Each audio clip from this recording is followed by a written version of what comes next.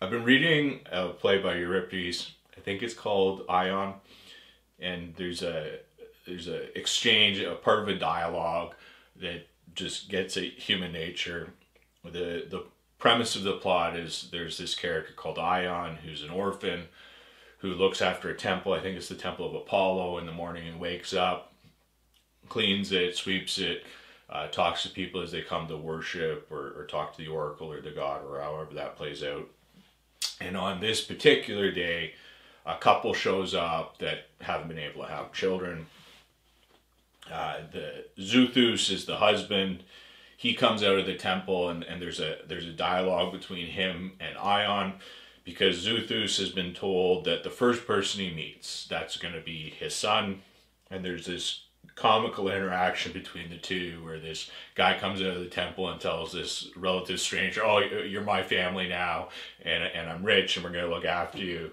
Um, the guy thinks he's like drunk or off his rocker, and, and that section's hilarious. But as it closes, there's there's uh, a dialogue that I think really sums up human nature, where maybe we have these these noble beliefs and then maybe we take the easy route out. But I thought it was great and maybe worth your time of sharing it. It starts off with with Ion going, Ah, mother dear, shall I ever see thee too? Now more than ever I do long to gaze upon thee, whoever thou art. But thou perhaps art dead, and I shall never have the chance. Chorus goes, We share the good luck of thy house, but still I could have wished my mistress too.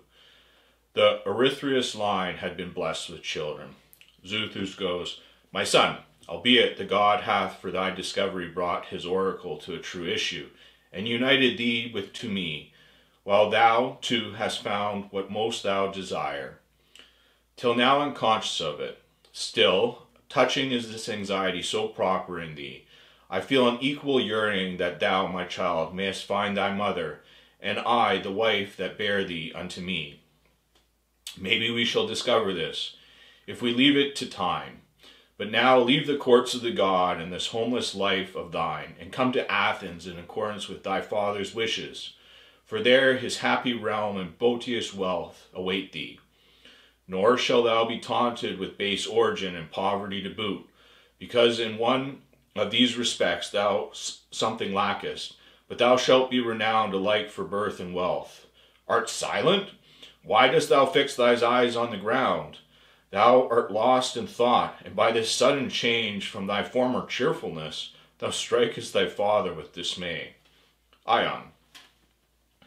Things assume a different form according as we see them before us, or far off.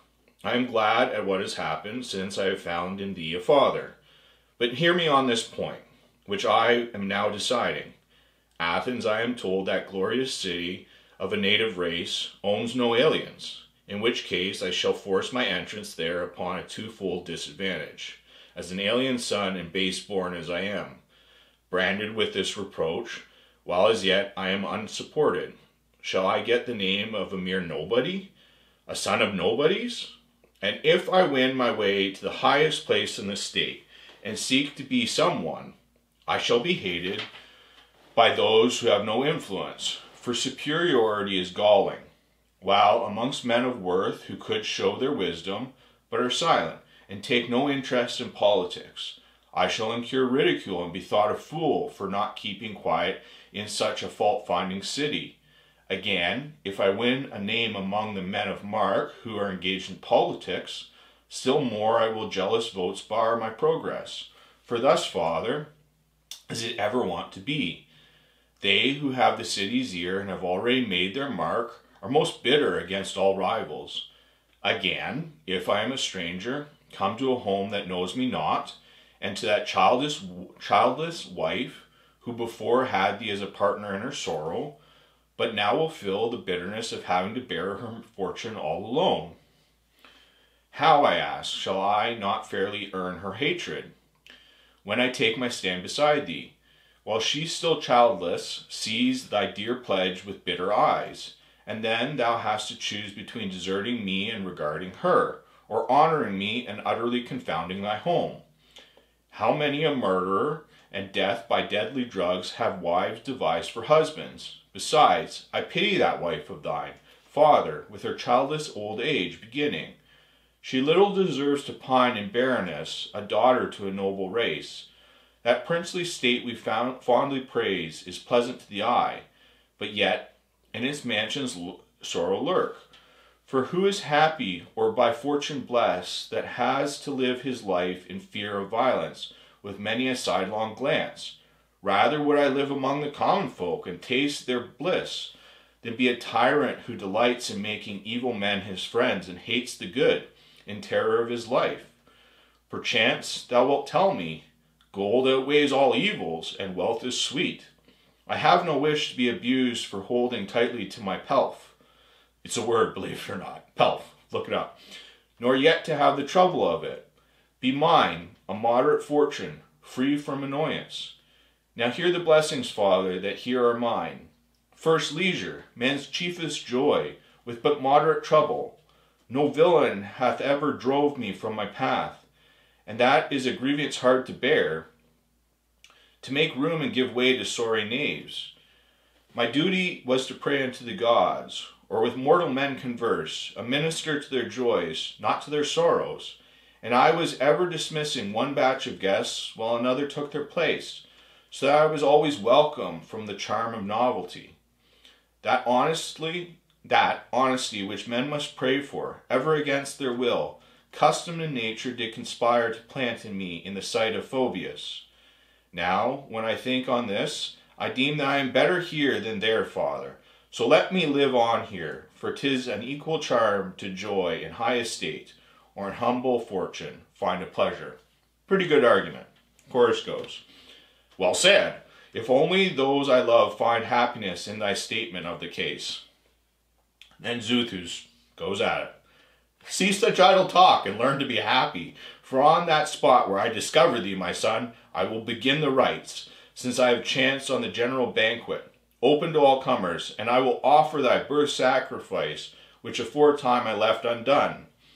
Thy birth, uh, and now I will bring thee to the banquet as my guest, and rejoice my heart, and take thee to, to the Athenian land, as a visitor forsooth, not as my own son, for I will not grieve my wife in her childish sorrow, but my good fortune. But in time I will seize a happy moment, and prevail on her to let thee wield my scepter o'er the realm. Thy name shall be Ion, in accordance with what happened. For that thou wert the first to cross my path as I came forth from Apollo's sanctuary. Go gather every friend thou hast, and with them make merry, or the flesh of the sacrifice, on the eve of thy departure from the town of Delphi. On you, ye handmaid, silence, I enjoin thee, for if ye say one word to my wife, death awaits you. And he leaves. He walks off, mic drop. And then Ion goes, Well, I will go. One thing my fortune lacks, for if I find not her that gave me birth, Life is not life to me, my Father, and I will make the prayer.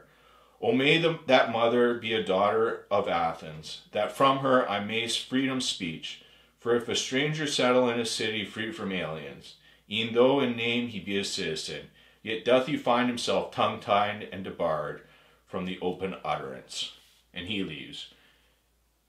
To me, I don't think Xuthus answered the big long quality argument about the blissful life at the temple, He just kind of paid him off and said, come be happy. Maybe I misread it, but there's something about human character in that exchange.